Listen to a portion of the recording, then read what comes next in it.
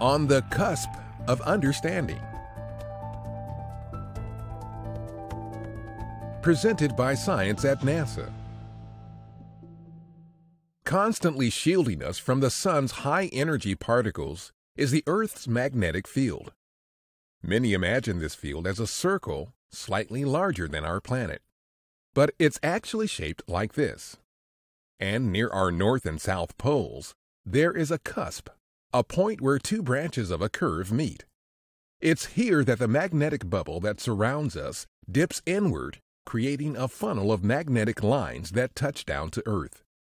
This funnel allows the sun's high energy particles to race toward our planet and deposit themselves in our ionosphere, 80 to 800 kilometers above Earth. We can even see the result.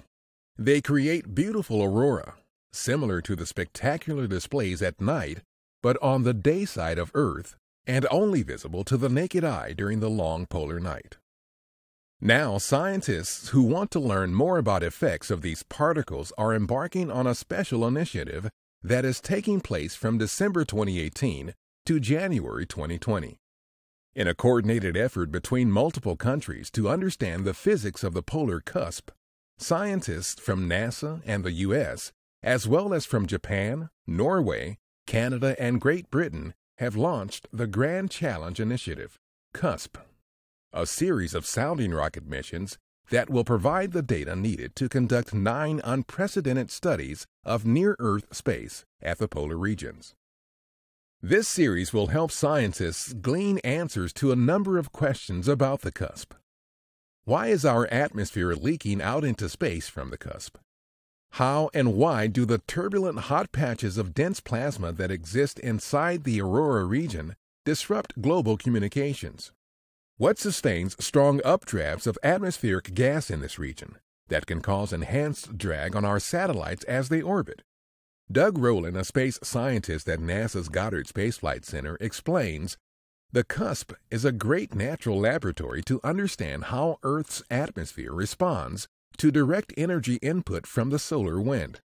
This kind of science can be done nowhere else on Earth.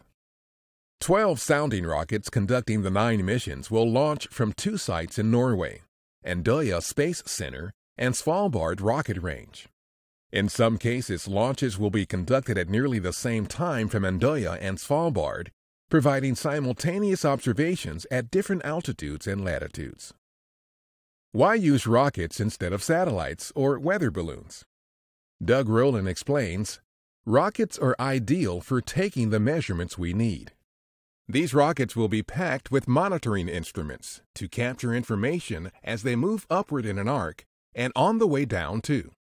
They can gather up to 15 consecutive minutes of direct measurements from a specific region of space, and you can launch them precisely.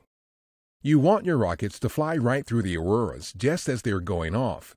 Satellites cover a lot of area, but at high speeds, they don't spend as much time making observations of any one location.